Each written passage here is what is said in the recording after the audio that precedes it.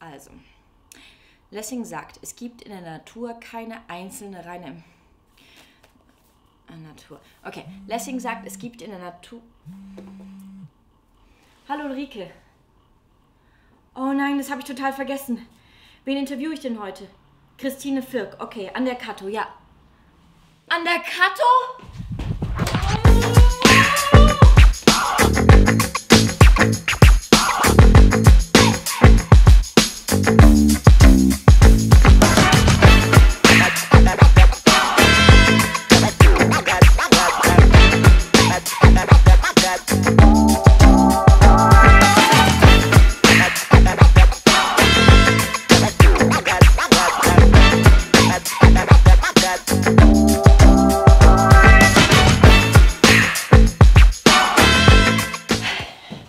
Hallo Christine.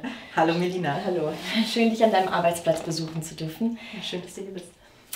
Was machst du eigentlich beruflich? Also ich bin äh, hier Professorin an der ähm, Katholischen Fachschule äh, hier am Standort Aachen am Fachbereich Sozialwesen und ähm, ich äh, äh lehre hier psychische und Entwicklungsstörungen des Kindes- und Jugendalters. Und ähm, das bedeutet, ich bin auch Psychologin und Kinder- und Jugendlichen-Psychotherapeutin. Das heißt, ich bin hier als Bezugswissenschaftlerin sozusagen im, äh, ja, in der sozialen Arbeit. Wie bist du dazu gekommen, genau in diesem Fachbereich zu arbeiten?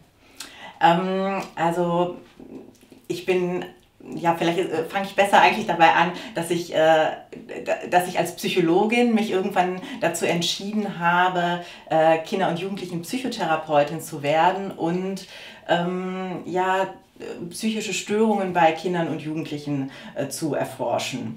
Und ähm, darüber ähm, bin ich dann sozusagen hier hingekommen, um hier den Studierenden der sozialen Arbeit ähm, ja, dieses Fach näher zu bringen und sozusagen ja, zu lehren, wie psychische Störungen bei Kindern und Jugendlichen ähm, entstehen, äh, wie man sie erkennen kann und natürlich auch, wie man diese behandelt. Was war denn ein großes weibliches Vorbild für dich? Ähm, ich habe kein oder ich hatte nie ein wirkliches äh, weibliches Vorbild oder auch männliches Vorbild in der äh, Forschung. Aber ähm, ich habe ja, schon während meines Studiums ähm, bin ich auf Menschen getroffen, die ähm, sich ja für ihr Fach begeistert haben, also für die Psychologie, für die Neurowissenschaften. Und diese Begeisterung für, ja, für das Fach, die hat mich unglaublich inspiriert, äh, auch äh, Forschung zu machen. Und ich habe an der Universität Maastricht studiert, äh, an der Fakultät für äh, Psychologie und Neurowissenschaften. Und diese Fakultät ist sehr forschungsorientiert. Und da habe ich schon als äh, ja, Studentin, habe ich dort schon als äh, äh, ja, studentische Hilfskraft in der Forschung gearbeitet und habe dort auch ähm, promoviert und einen Teil meiner äh, Postdoc-Zeit verbracht. Und ich glaube, das war sozusagen diese inspirierende Forschungsumgebung, auf die ich da getroffen bin. Was müsste sich denn für äh, die Frauen in der Forschung ändern? Ich glaube, ein ganz großes Problem für Frauen in der Forschung ist, dass ähm, wir eigentlich zu wenig Zeit haben. Es muss eigentlich alles passieren zwischen 25 und 40. Also wir müssen eigentlich, wir müssen, wenn wir das Studium abgeschlossen haben, müssen wir promovieren, dann müssen wir uns habilitieren.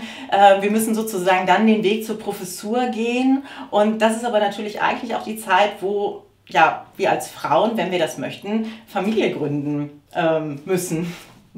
Und ähm, ja, und das, äh, glaube ich, führt dazu, dass viele Frauen sich dann, wenn sie an dem Punkt sind, ähm, wo es darum geht, ja, möchte ich jetzt Familie haben oder nicht, sich dann vielleicht entscheiden, aus der Wissenschaft rauszugehen.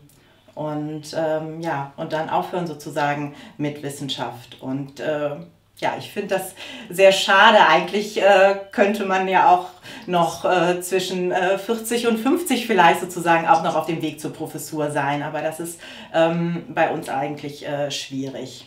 Und so ähm, braucht man sehr viel Unterstützung, um auch ähm, mit, ja, mit Familie sozusagen diesen Weg zu gehen.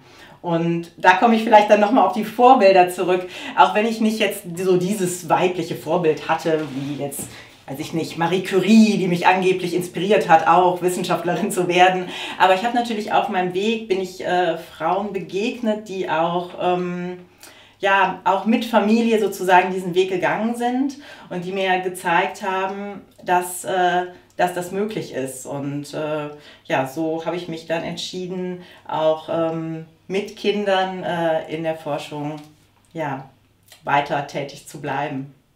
Das heißt, deiner Meinung nach müsste es ähm, nach, wenn man eine Familie gründen möchte, nachher wieder einen leichten, erleichterten Einstieg geben in die Forschung oder?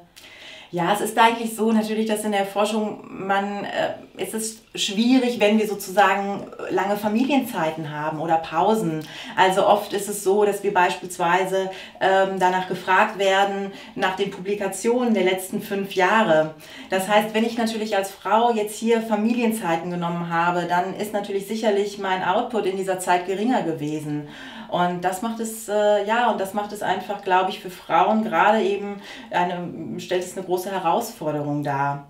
Und ähm, ja, und äh, aus der Forschung herauszugehen und äh, äh, erstmal äh, einige Jahre sozusagen äh, gar nicht zu forschen und dann wieder in die Forschung reinzugehen, das ist, ähm, das ist sehr schwierig und äh, ich würde fast denken, heutzutage fast noch nicht möglich. Okay, vielen Dank für das Gespräch. Ja, gerne. Schön, dass du Tschüss. da warst. Ciao.